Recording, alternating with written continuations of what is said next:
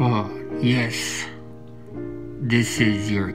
This is KaPtEon speaking. And I'd like to welcome you to the continued journey as the destination towards the destination beyond the clouds. Today's leg of the journey, I'm hoping that you will be able to enjoy the views of what I have to share from today's treatment. So please sit back, relax, and enjoy the ride.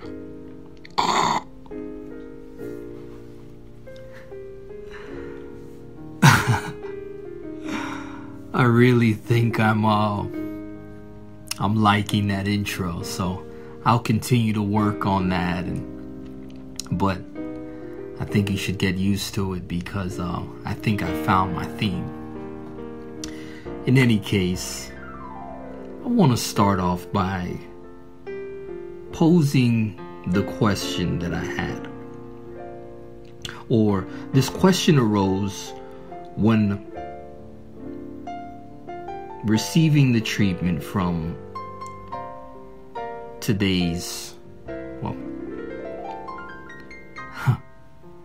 sometimes thinking too hard, I actually mess up. So let me try that again. When I was receiving the treatment today, a question arose. And my main idea was actually formed out of it. But I want to pose the question first. And I think after writing it down, I got the answer. But I'll still put it out there anyways. So in chapter 14, basically from verses 6 to 12, it's actually when Caleb made his request to Joshua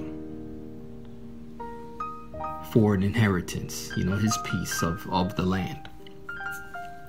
And the question came because when he approached Joshua, he started off by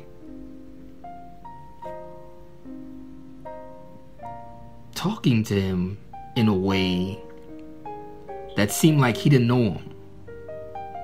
You know, I'll, read it, and it says, Then the people of Judah came to Joshua at Gilgal. Well, I guess Caleb was coming on behalf of the tribe of Judah. But in any case, he goes, you know what the Lord said to Moses, the man of God, concerning you and me. Okay, see, I'm answering my questions right there. I was 40 years old when Moses, the servant of the Lord, sent me from Kadesh, Barnea, to spy out the land. And I brought him word again as it was in my heart. But my brothers who went up with me made the heart of the people melt. Yet I wholly followed the Lord my God. See, sometimes I have to actually take it in multiple times because I started thinking, was Joshua and Caleb not together? I know there were 12 spies. And it was Joshua and Caleb that came back. Well, out of when all 12 came back, he was one of the two.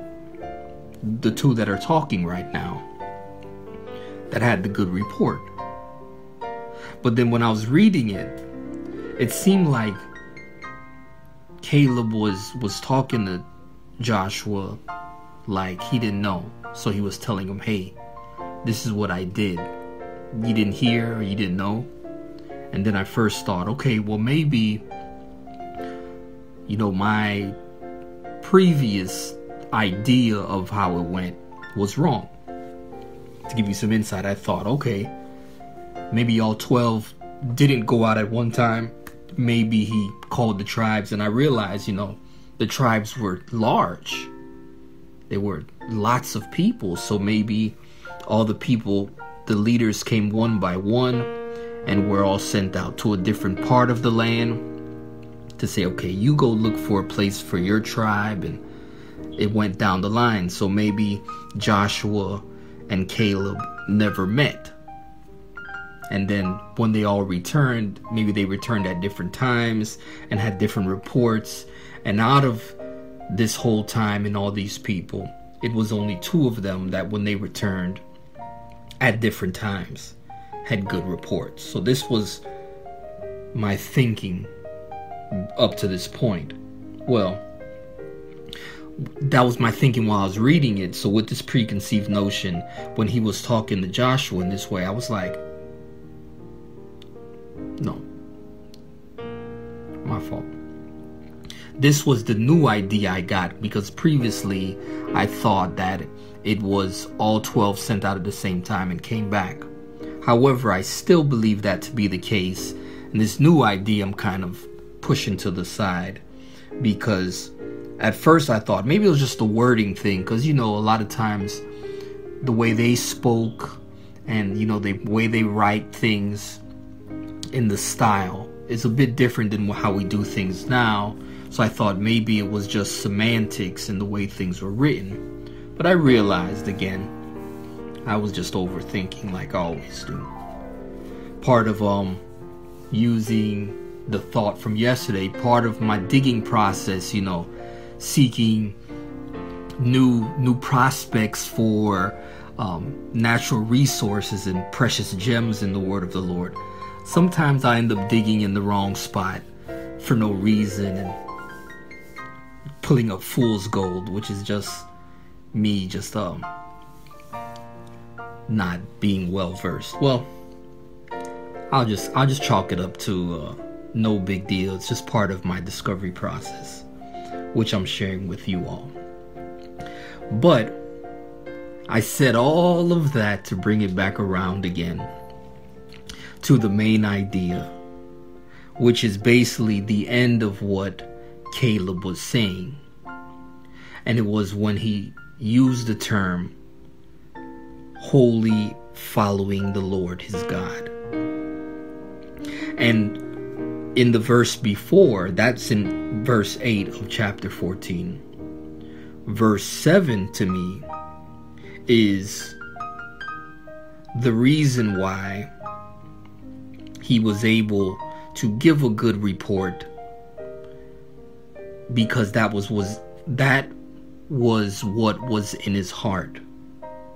And I believe the good report comes from wholly following the Lord because he was following him with everything. And I've realized, not just in my own personal walk with the Lord, which is no different than all the examples that He's given through the scriptures here being included as well, as well as with the saints that I've heard testify over the years that He doesn't owe any, He will not be in debt to anyone. And so, by giving everything to Him, He responds by returning tenfold, hundredfold, you name it, abundant and running over. And so it is my belief and understanding that maybe part of this complete fellowship that he walked and I believe continued to walk with the Lord caused him in the end to be able to claim, well, not only get into the promised land, but receive a claim to the inheritance, as well as he was able to been given another 45 years up to that point. He was basically an 85 year old man, and he spoke about how he was still as strong as he was as a 40 year old and so on and so forth. And while I may not currently, well, let me not put myself, I, I don't like to, I don't want to make false claims and I don't want to take anything away either. But my hope is that I will truly be wholly following the Lord. I'm not even sure if I'll be able to make his same claim of longevity and sustained strength. And for me, those things are really secondary, an afterthought. Because for me, following the Lord with everything, and everything is the continuing, the continuation, the keep goingness of following through the faults and the failures and the everything, just using everything He's given to continue following. And I believe that is part of the wholeness that He's giving me in order to do so. It's like a cycle. I give a little, and He gives me a lot that helps me to continue giving. And then He gives even more. And I give back, and He gives even more and I continue that by the grace and the mercy of Jesus Christ all the way into glory land.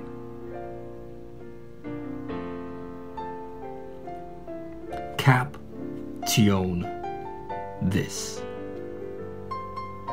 Sir